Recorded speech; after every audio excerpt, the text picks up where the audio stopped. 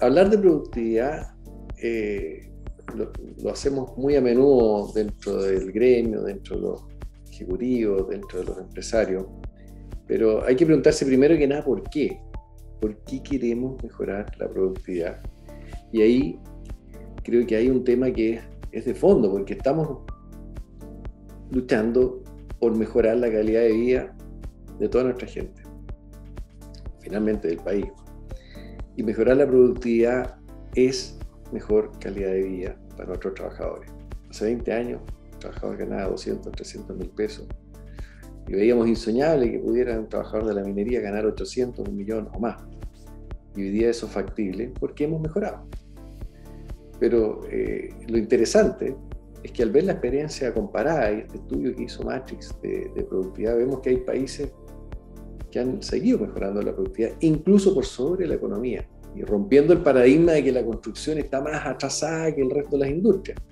Entonces tenemos que hoy día nuestra productividad en la construcción puede duplicar incluso eventualmente triplicar si comparamos con los países eh, que nos llevan la delantera. ¿Y por qué no poder pensar en grande?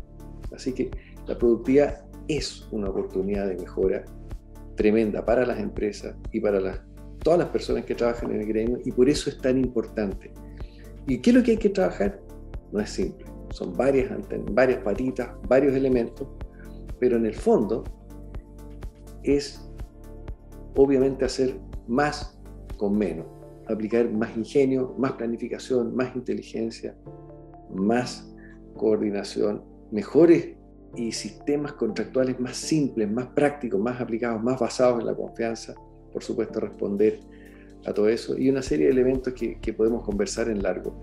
Pero, en definitiva, lo primero es estar convencido de que es algo importante, como que ya se nos está olvidando que la productividad también tiene que ver con el, eh, eh, ambiente social, el ambiente eh, medioambiental.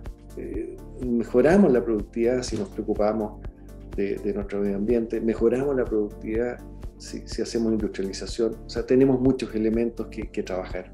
Pero vuelvo a insistir, lo más importante es estar convencido que tenemos que trabajar por ello.